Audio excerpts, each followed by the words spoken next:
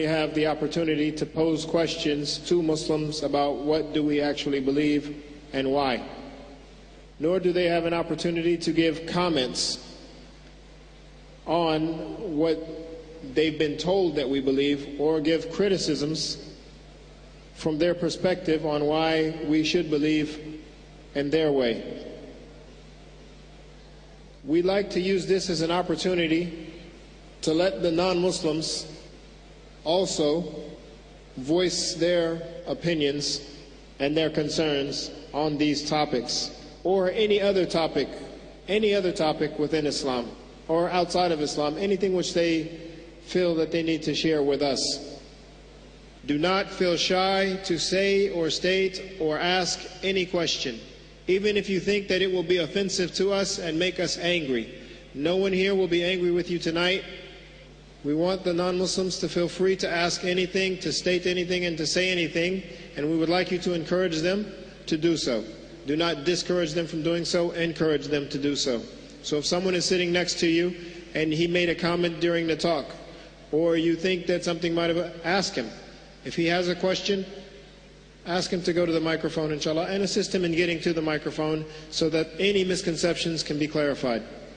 Beginning with the gentleman in the front, please state your name and occupation and then state your question. Yeah, Assalamu alaikum. My name is uh, Gundu Muhammad Amin. I am a businessman. Our Christian friends are saying that uh, Jesus Christ did not die. He was crucif- crucifixion. He is immortal and he will come again.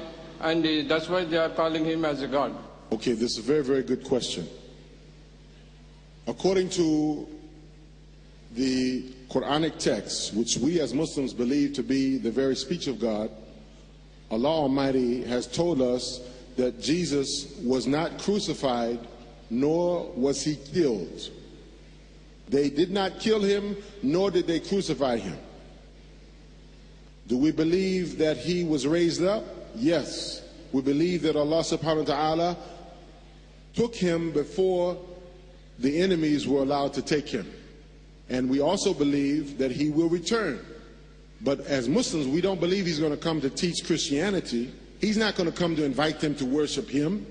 It wouldn't make sense. It will be vain to think that Jesus is going to come back and tell the people to worship me, your God, when he in fact himself worshiped his God and our God.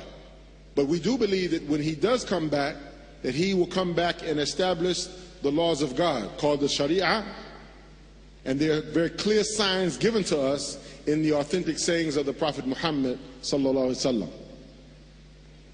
Does that answer your question? Thank you. Brother, could you please state your name, state your occupation, and then briefly state your question? My name is Syed Muhammad. I'm a student of engineering.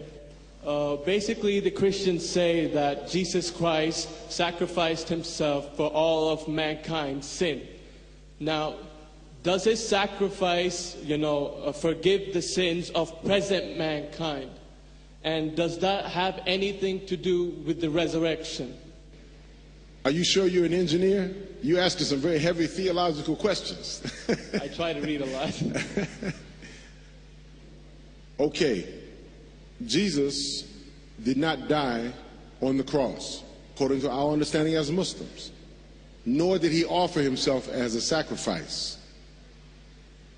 However, we know that this is part of the Christian theology that he died for the sins of the world. But there are some flaws, some fatal flaws in that doctrine. Number one, if that is so, what about all the people who committed sin before Jesus came? Does that mean that they're not saved? If, in fact, his death on the cross was for the sins of the world, does that mean that those who came before him who never knew him, that they will not be saved? Number two, it absolves each and every human being of his or her responsibility for their actions. And we know that Allah the Almighty is just. He is Al Adl. He is the just one. And He will not punish one person for the sins of another. Unless, of course, we don't do the work of da'wah. In that case, those of us who neglect to give da'wah, When Allah sends punishment, He will punish all of us together with the non Muslim, with the disbelievers. So we better get busy. But in this case, as I mentioned in the hypothetical situation I was given, it would not be fair for Jesus to be killed for the sins of others. When in fact, Allah tells us in the Quran that everyone is responsible for their own deeds, that no bearer of burdens can bear the burdens of another.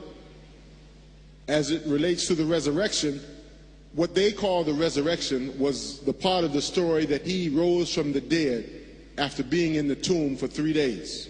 Now, there's some question about their mathematics. We know that maybe they're like some prison guards. You know, in prison, the most important thing that they're concerned about is safety, security, and count. And some prison guards can't count worth a lick. It's like they keep counting the inmates over and over and over again and come up with a different number. It's the same in this case. Some say it was three days, but if you study the text of the, of the Gospels, it wasn't three days. You see? They also say three is one and one is three. So we won't count on their mathematical skills. But for them, the resurrection has to do with Jesus being raised from the dead. Because we don't believe that he was killed, we don't acknowledge the story of resurrection. We acknowledge that he was raised up, that he was taken up by Almighty God Allah, and that he is alive now in a place that Allah knows best and how it was done. We don't question that. We accept it coming from the Prophet Muhammad sallallahu alaihi wasallam, and that he will return and establish the Islamic law in the land. And we pray that Allah make us ready for that. Now, your second question. Basically, uh, recently there was a controversy based on the book, uh, The Real Da Vinci Code. I know it's a bit out of the topic, but basically, in that they say he had a wife, Mary Magdalene.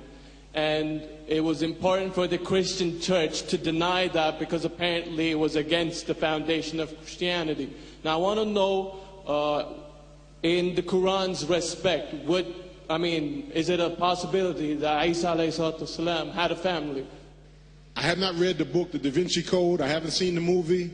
And to be quite honest with you, I don't think I'll read it or see it. I, but I do know that the Prophet Muhammad sallallahu did say that when he comes back, that he will marry and he will have children. Whether he had it then or not is immaterial. It doesn't say so in Quran, but in the authentic hadith, we are told that he will return, he will marry and have children. Wallahu alam. We'll begin with the men's mic in the rear. I see a hand up, meaning we have a non-Muslim questioner, inshallah.